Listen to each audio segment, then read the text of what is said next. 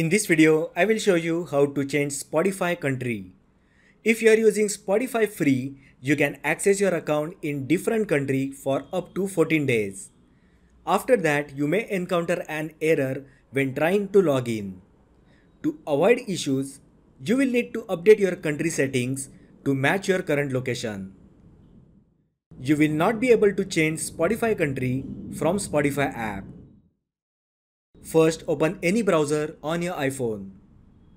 Now go to accounts.spotify.com. Log in with your Spotify credentials.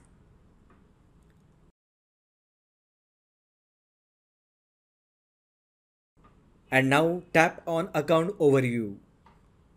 Next, click edit profile.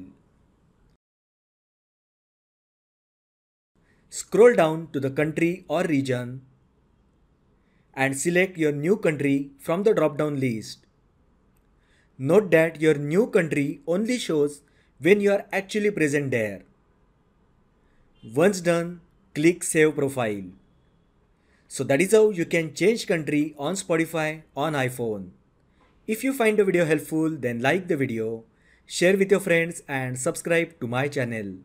Thanks for watching and I will see you in the next video.